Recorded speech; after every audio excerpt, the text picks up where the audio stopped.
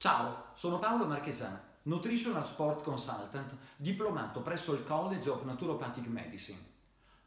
Mi occupo di integrazione alimentare e di alimentazione da oltre 20 anni. Oggi parleremo della nutrizione per il soggetto sportivo, facendo riferimento in particolare all'utilizzo delle proteine. Lo sport è benessere. L'allenamento sportivo, tuttavia, per poter essere funzionale, produce danni all'organismo.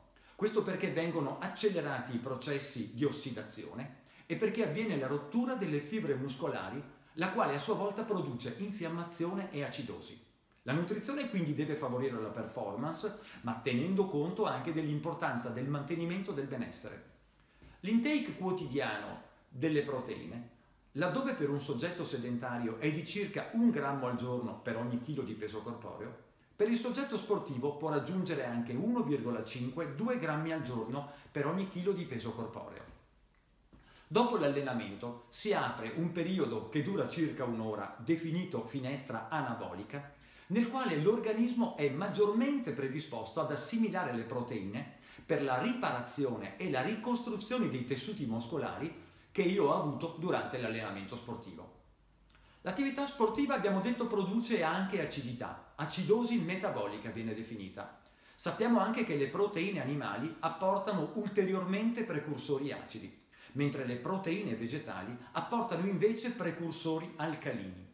Quindi, per mantenere il corretto equilibrio di acidità all'interno dell'organismo, sarebbe opportuno che il 50% delle proteine derivasse dal mondo animale e il 50% da quello vegetale utilizzando il rapporto corretto tra proteine derivate dai legumi, dalla frutta secca e dai cereali, noi possiamo comunque ottenere tutti i nove aminoacidi essenziali, i due semi essenziali e i nove non essenziali. Tra di questi anche i tre ramificati così importanti per il soggetto sportivo, in quanto bypassando il fegato possono essere utilizzati nell'immediato anche a scopi energetici. La maggior parte delle proteine vegetali vengono considerate interessanti soprattutto se sono di natura isolata, proteine isolate, per esempio della soia, del grano, del pisello. Che caratteristica hanno queste particolari proteine? Hanno la caratteristica di non contenere zuccheri, i glucidi, che altrimenti sarebbero contenuti nei vegetali che noi mangiamo. L'integrazione alimentare serve per garantire quindi il corretto apporto di proteine che solo con il cibo a volte è molto difficile da ottenere, soprattutto per rispettare il timing. Se in quell'ora dopo l'allenamento mangio, facciamo un esempio, una bistecca, è evidente che siccome il tempo di digestione supera l'ora, soltanto una parte di quelle proteine potranno essere gestite dal mio organismo per riparare i tessuti danneggiati.